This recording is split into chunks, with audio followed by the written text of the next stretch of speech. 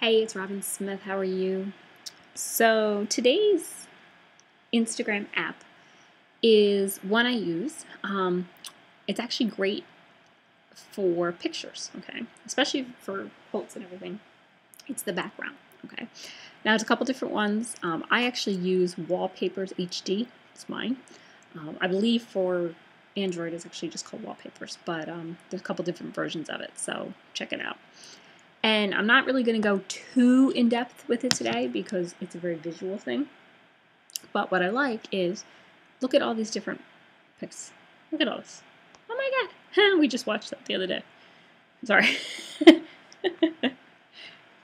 Ice Age, I don't know if you've ever seen it, but I, my son loves it, so we were actually watching it the other day. But anyway, look, we got, we got Santa. in, in honor, we have Santa.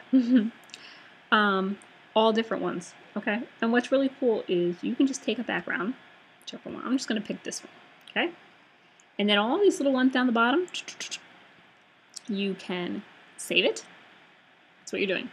Perfect. Saved it right to my camera roll. You can drop it somewhere if you want. Maybe you just want to take that picture and put it right onto Instagram. You can do that. Right there. you can love it. Add it to favorites you can cancel out of it if you want to do another one. Look, we, we got two little giraffes. How cute is that?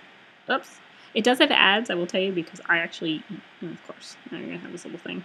Um, I actually don't use the paid version, but there is a paid version if you want. Here you go. How cute is that? I'm going to tell you, secret secret, animals are hot on Instagram. Okay, people like animals. Use animals in your pictures a lot.